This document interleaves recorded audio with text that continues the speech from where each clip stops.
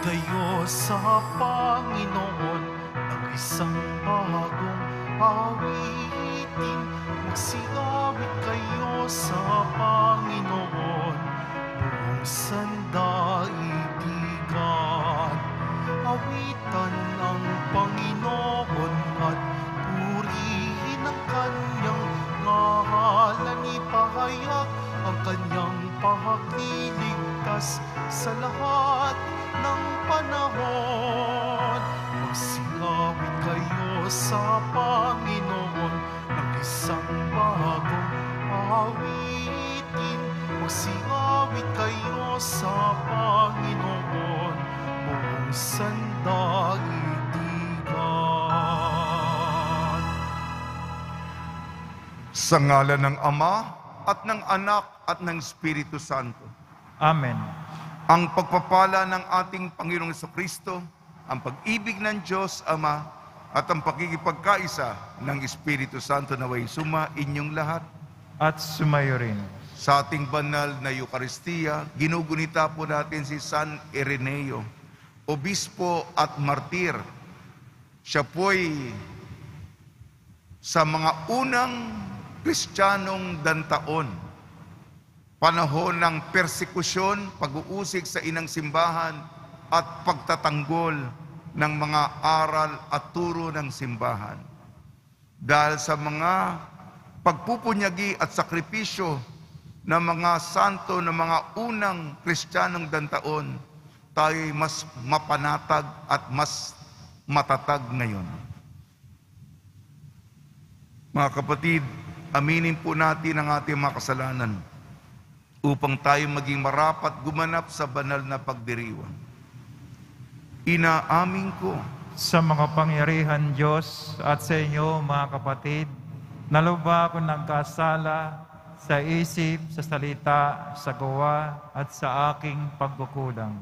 Kaya isinasamo ko sa mahal na Birhing Maria, sa lahat ng mga anghel at mga banal at sa inyo mga kapatid na ako'y panalangin sa Panginoong ating Diyos. kaawan tayo ng makapangyarihan Diyos, patawarin tayo sa ating makasalanan at patnubayan tayo sa buhay na walang hanggan. Amen. Panginoon, kaawaan mo kami. Panginoon, kaawaan mo kami. Kristo, kaawaan mo kami. Kristo, kaawaan mo kami. Panginoon, kaawaan mo kami. Panginoon, kaawaan mo kami. Manalangin tayo. Ama namin makapangyarihan, iniatas mo sa obispong si San Ireneo ang pagpapatatag sa katotohanan ng iyong itinuturo at sa masayang pagkakasundo ng iyong simbahan. Ipagkalo mo bilang tugon sa kanyang pagdalangin na kami dinudulutan mo ng pagbabago, bunga ng pananalig at pag-ibig ay maging laging masigasig sa papaunlad, sa pagkakaisa at pagkakasundo sa pamamagitan sa Kristo kasama ng Espiritu Santo magpasawalang hanggan. Amen. Magsiyo po muna.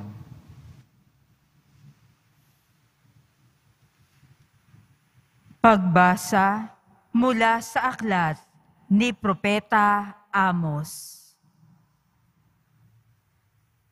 Pakinggan ninyo, mga taga-Israel, itong sinabi ng Panginoon. Pinatnubayan kong palabas sa Ehipto ang inyong lahi sa lahat ng bansa, sa ibabaw ng lupa, kayo lamang ang aking itinangi at inalagaan. Kaya't parurusahan ko kayo dahil sa inyong mga kasalanan. Maari bang magsama sa paglalakbay ang dalawang tao kung di muna sila magtipan? Uungal ba ang leon sa kagubatan malibang makatagpo siya ng biktima? Aatungal ba ang batang leon sa loob ng yungib kung wala siyang nahuling anuman? Mabibitag ba ang isang ibon kung walang pain? Iigkas ba ang bitag kung walang huli? Maari bang di sakmali ng takot ang mga mamamayan kapag hinipan ng bantay lunsod ang trompeta? Mangyayari ba sa isang lunsod ang isang kahindik-hindik na bagay, malibang ito'y itulot ng Panginoon? Tunay na ang Panginoon ay di gumagawa ng anumang bagay na di ipinababatid ang kanyang balak sa kanyang mga lingkod, ang mga propeta. Pag-ungal ng leon, maari bang hindi ka matakot?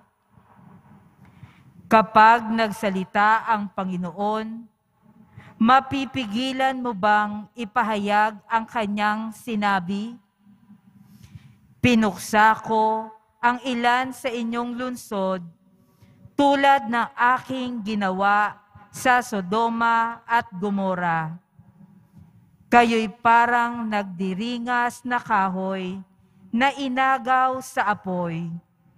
Ngunit ayaw pa rin kayong manumbalik sa akin. Sumbat pa ng Panginoon.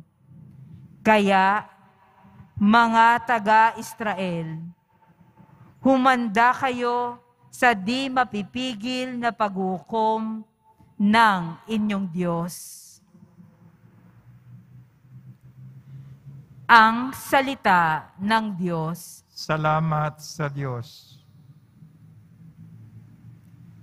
Poon, ako'y pangunahan, ng landas mo'y aking sundan. Poon, ako'y pangunahan, ng landas mo'y aking sundan. Ang gawang masamay, di mo kalulugdan. Ang gawaing hidway, di mo papayagan. Ang mga palalot, masasamang asal, iyong itatakwil at kasusuklaman. Poon, ako'y pangunahan, ng landas mo'y aking sundan. Parurusahan mo, yaong sinungaling, pati mararahas at ang mga taksil. Poon, ako'y pangunahan, ng landas mo'y aking sundan. Dahilan sa iyong tanging pagmamahal, ako ay dudulog sa iyong tahanan. Sasambahin kita sa templo mong banal bilang isang tanda ng aking paggalang. Poon, ako'y pangunahan, ng landas mo'y aking sundan. Magsitayo na po ang lahat.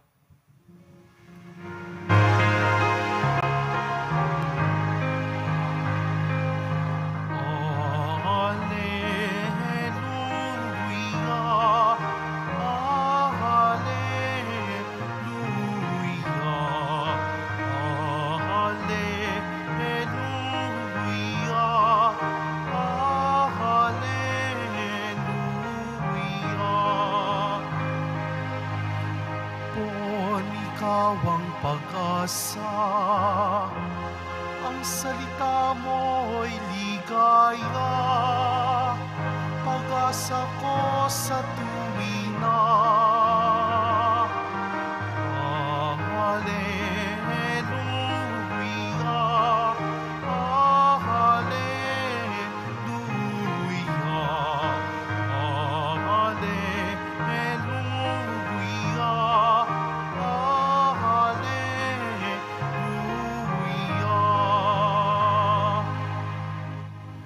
Sumainyo ang Panginoon.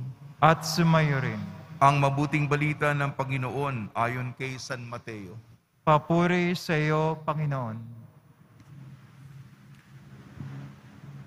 Noong panong yun, sumakay si Jesus sa bangka kasama ang kanyang mga alagad. Bumugso sa lawa ang isang malakas na unos at halos matabunan ng mga alon ang bangka.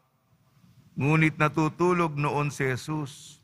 Kaya't nilapitan siya ng mga alagad at ginising, Panginoon, tulungan ninyo kami. Sabi nila, lulubog tayo. At sinabi niya sa kanila, Ano't kayo'y natatakot? Napakaliit naman ang pananalig ninyo. Bumangon siya, sinaway ang hangin at dagat at tumahimik ang mga ito. Namangha silang lahat at ang sabi, anong tao ito? Kahit ng hangin at ang dagat ay tumatalima sa kanya. Ang mabuting balita ng Panginoon. Pinupuri ka namin, Panginoong Heso Kristo. Magsiupo muna.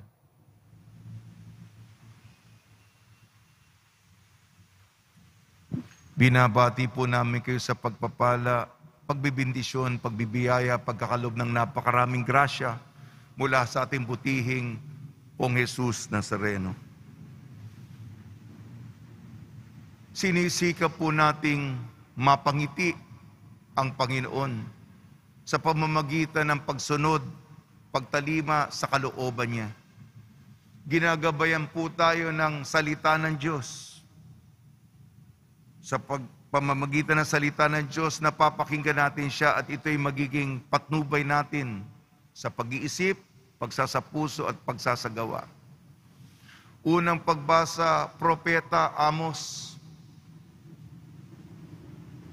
Ang tao nakalimutan magpakatao. Ang pagiging mabuting tao, hindi naman ito yung posisyon. Yung iba matataas na tao.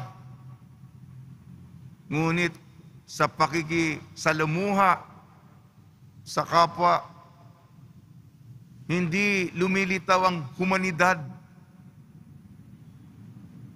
Ang masama kung talagang napakasama na. Kahit na yung kasamaan may mga antas, level, mga grado, yung pababa ng pababa ng pababa. Ang kabastusan, yung binabastos mo. Pinagtatawanan kung ano ang mahalaga sa iyo. Siguro nung bata tayo, naaalala ninyo, niloloko ang pangalan ninyo. Di ba kayo nasaktan nun?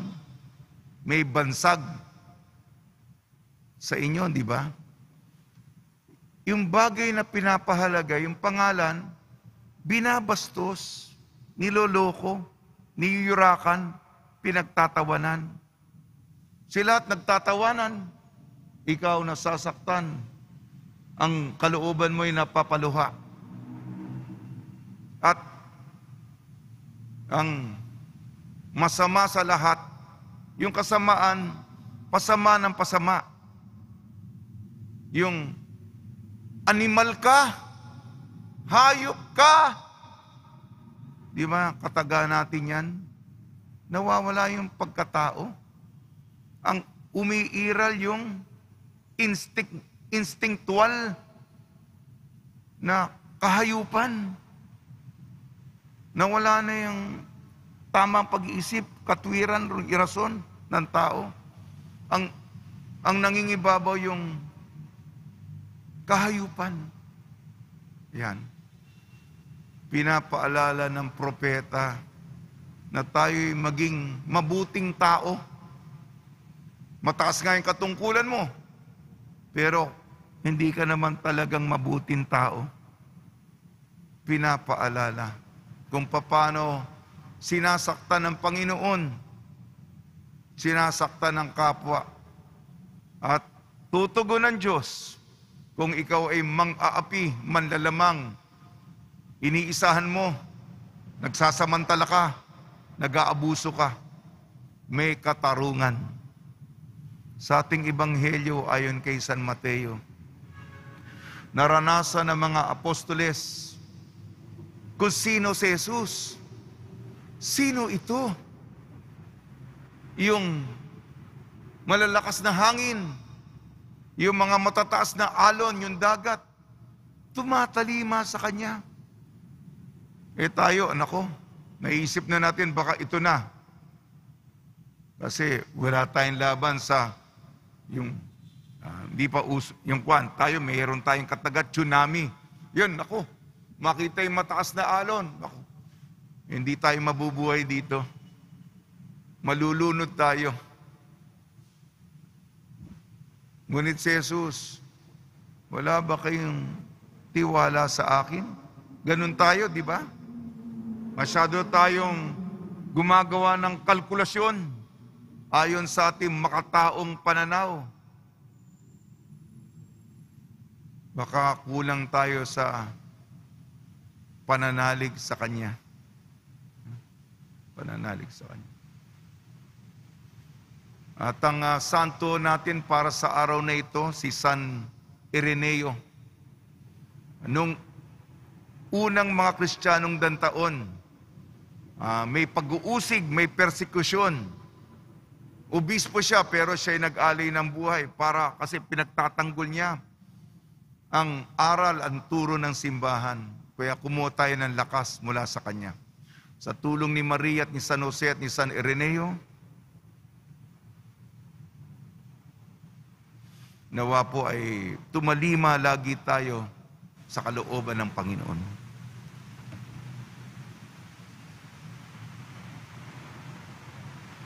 Magsitayo na po ang lahat.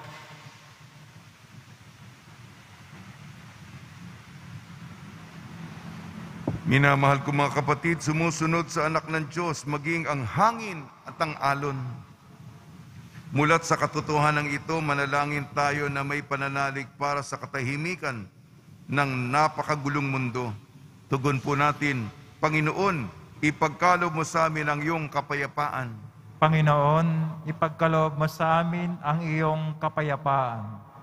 Ang simbahan sa pamamagitan ng kanyang mga miyembro naway maging malakas sa pananampalataya higit sa lahat sa kanilang pagharap sa mga paghihirap at pagsubok sa ating panahon, manalangin tayo.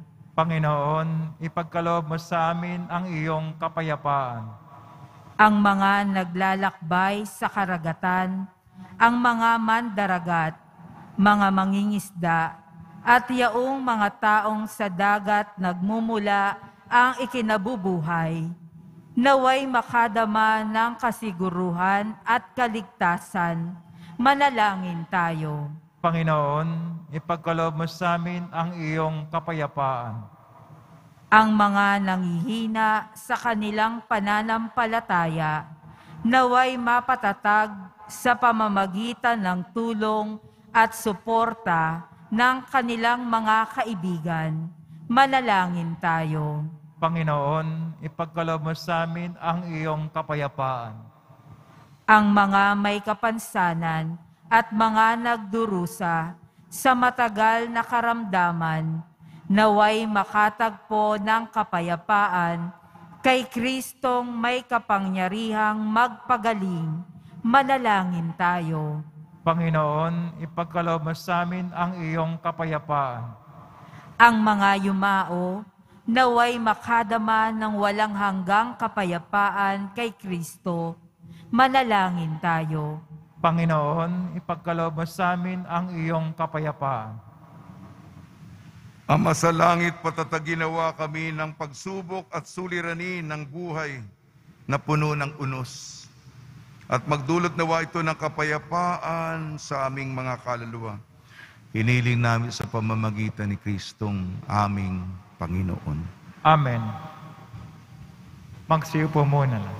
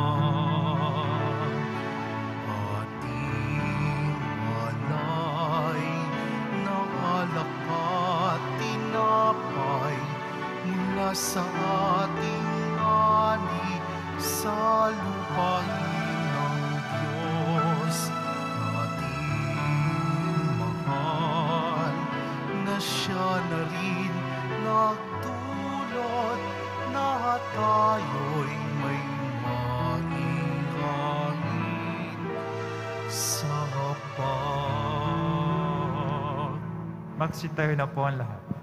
Manalangin kayo mga kapatid upang ang ating paghahain ay kalugdan ng Diyos amang makapangyarihan.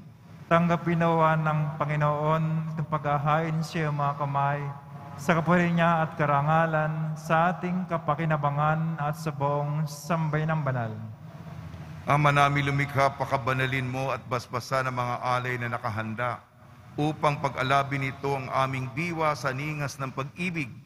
Pag-ibig mo na nagdulot ng tagumpay sa pagpapakasakit ni San Ireneo. Sa pamamagitan ni Kristo kasama ng Espiritu Santo magpasawalang hanggan. Amen. Sumainyo ang Panginoon. At sumayo rin. Itaas sa Diyos ang iyong puso at diwa. Tinaas na namin sa Panginoon. Pasalamatan natin ang Panginoong ating Diyos. Marapat na siya ay pasalamat. Ama naming makapangyarihan, tunay nga marapat na ikaw ay aming pasalamatan ngayong aming kagalakan na si San Ireneo ay parangalan. Siya'y kapanalig naming may paninindigan na ikaw ay pahayag kahit siya'y mamatay, sapagkat minarapat mong kanyang matularan ang iyong anak na naghain ng sariling buhay. Tulad ng naganap sa iyong anak, ang dugo ng mga martir ay dumanak, hindi dahil sa katatagang likas, kundi dahil sa iyong bigay na lakas. Kaya kaysa ng mga anghel na nagsisiawit ng papuri sa iyo, nang walang humpay sa kalangitan kami nagbubunyi sa iyong kadakilaan. Santo, Santo, Santo, Panginoon Diyos ng mga hukbo, napupuno ang langit at lupa ng kadakilaan mo, o sana sa kaitasan. Pinagpala na paririto sa ngala ng Panginoon, o sana sa kaitasan. Magsilod po. Ama namin banal, ikaw ang bukal ng tanang kabanalan. Kaya sa pamamagitan ng Espiritu, gawin mo ang banal ang mga kaloob na ito upang para sa aming maging katawan at dugo ng aming Panginoong Yeso Kristo. Bago niya pinagtiis ang kusang loob na maging handog, hinawakan niya ang tinapay, pinasalamatan kanya, pinaghati-hati niya yon. Iniabot sa kanya malagad at sinabi, Tanggapin ninyong lahat ito at kanin, itong aking katawan na ihahandog para sa inyo.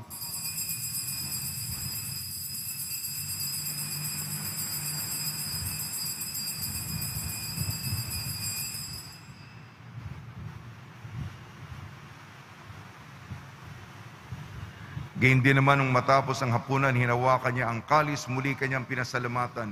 Inabot niyang kalis sa kanyang malagad at sinabi, Tanggapin ninyong lahat ito at inumin. Itong kalis ng aking dugo, ng bago at walang hanggantipan. Aking dugo ni bubuhos para sa inyo at para sa lahat. Sa kapagpapatawad ng mga kasalanan, gawin ninyo sa pag-alala sa akin.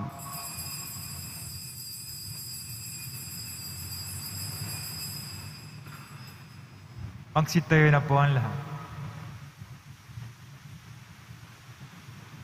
Ipagbunyi natin ang misteryo ng pananampalataya. Si Kristo'y namatay, si Kristo'y nabuhay, si Kristo'y babalik sa wakas ng panahon. Ama, ginagawa namin ngayon ang pag-alala sa pagkamatay at muling pagkabuhay ng iyong anak. Kaya tinialay namin sa iyong tinapi na nagbibigay buhay at ang kalis na nagkakaloob ng kaligtasan. Kami nagpapasalamat dahil kami minarapat na tumayo sa harap mo para maglingkod sa iyo. Isinasamo namin kami magsasalo-salo sa katawan at dugo ni Kristo ay mabuklod sa pagkakaisa sa pamamagitan ng Espiritu Santo. Ama, lingapi mo yung simbahang laganap sa buong daigdig. Puspusin mo kami sa pag-ibig kaysa ni Francisco na aming Papa at ni Jose na aming Obispo at ng Tanang Kaprian. Alalahanin mo rin ang mga kapatid na himlay na may pag-asang sila'y muling mabubuhay, gayon din ang lahat mapumanaw. Kaawan mo sila at patuloyin sa iyong kaliwanagan.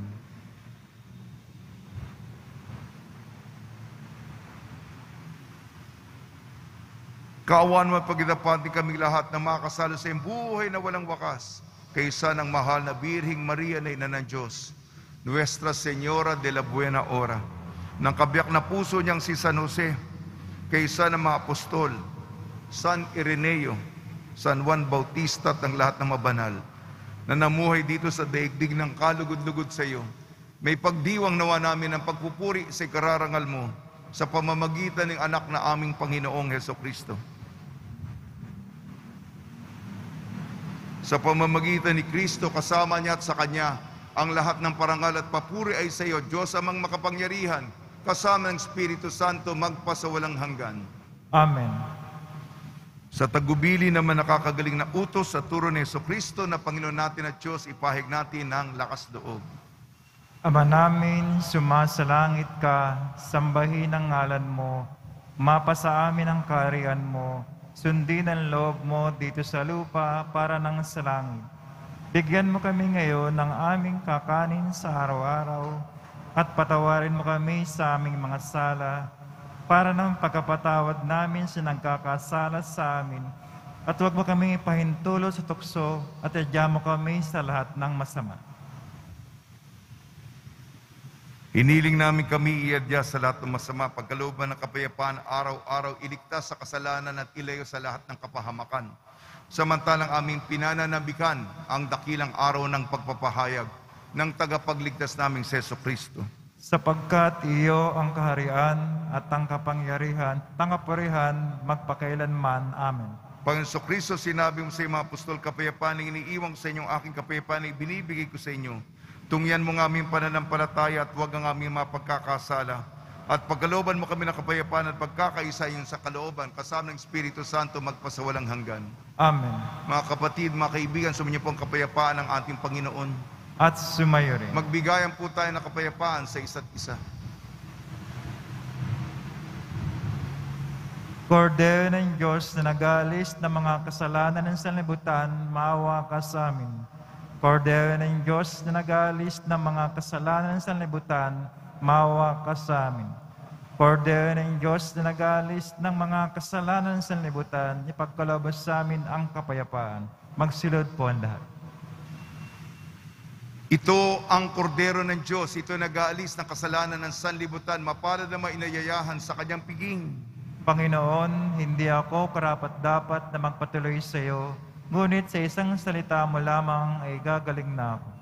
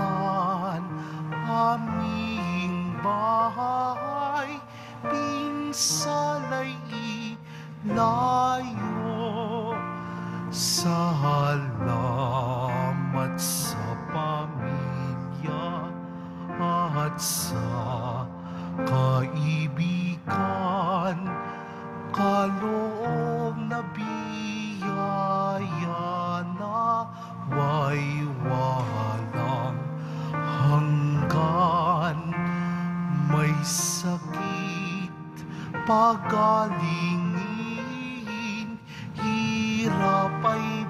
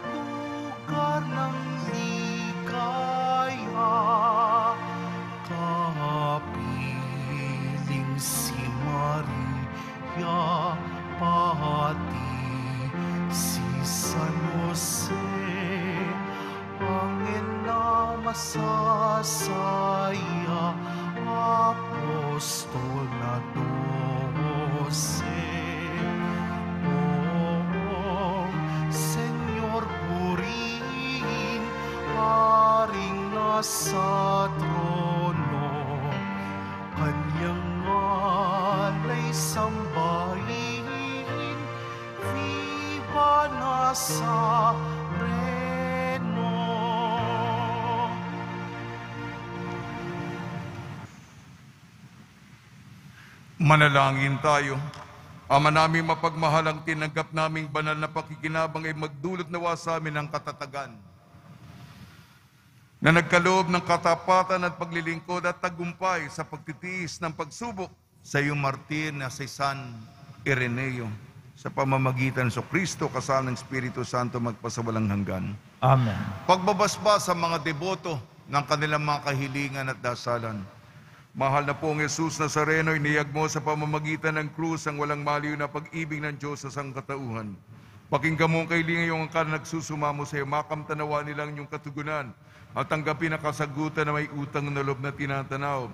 Basbasan din po niyo mga daladala ng mga imahin at dasalan sa pamamagitan ng bendisyon nito na may maalala ng mga pangako sa binyag ng ikaw ibig at paglilingkuran bilang Panginoon magpasawalang hanggan.